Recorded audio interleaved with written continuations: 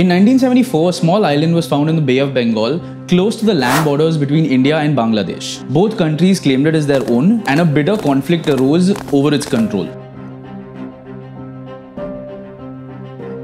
Even after 30 years, there seemed to be no end in sight to this weird land dispute. Until one day, the island just disappeared. So what happened? To answer this, we need to go back to November 1970. This is when a deadly cyclone hit the shores of West Bengal and East Pakistan. It flooded croplands, it swallowed villages, and it led to the death of 5 lakh people, making it one of the deadliest natural disasters to have ever been recorded. It left behind a trail of death and devastation. But there was something else that it also left behind. The tiny island was first spotted in satellite images in 1974. And by tiny, I mean really tiny, around 2.5 square kilometers to be precise. The Indians were the first to detect it and they named it New Moore Island.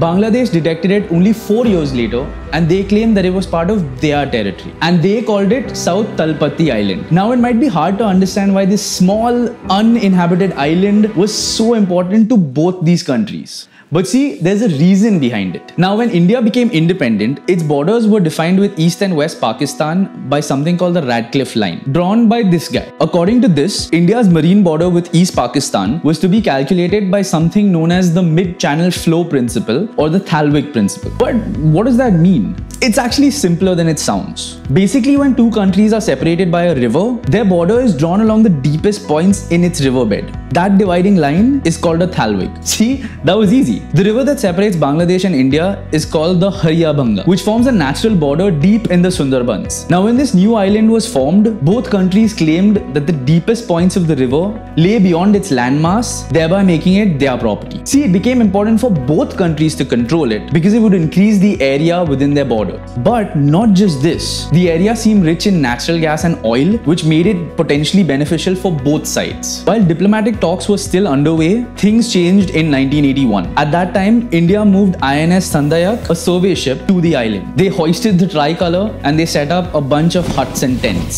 Soon after, that move was challenged by three Bangladeshi gunboats and the Indians had to retreat. India had no choice but to declare the island no man's land until the conflict was peacefully resolved. And that's the way it remained until 2003. On September 22, 2003, Bangladeshi media reported that the BSF or the Indian Border Security Force had established a naval base on New Moore Island. And so tensions flared up again. Now I'm sure at this point you're thinking, where does all this end? This is where the real villain of the story enters climate change. And like all good villains, it too has a backstory. By the end of the 20th century, it is well established that climate change is a major threat to the world we live in today. According to a study conducted in the Bay of Bengal, the sea levels rose by 4.36 millimeters a year between 2004 and 2010. This has led to a never before seen crisis in the Sundarbans. Islands are literally going underwater. The story of New Moore Island also ended somewhat abruptly while none of the warring parties were looking. Sometime in 2011, satellite images showed that the blip in the ocean which was the island, no longer existed.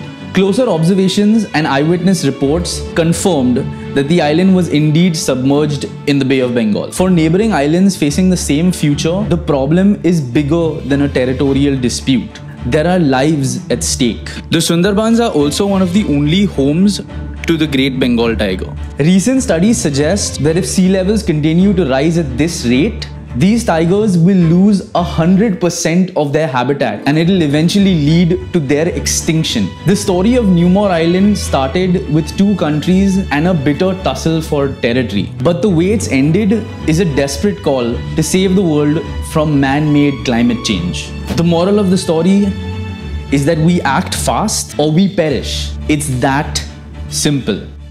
Hey guys, if you enjoyed the video, don't forget to like, share and subscribe. The kinds of videos we want to make are to ask fun and compelling questions, explore weird and intriguing stories, and delve into secret histories. So if that's something you're interested in, this is the channel for you. Don't forget to tell us what you like in the comments.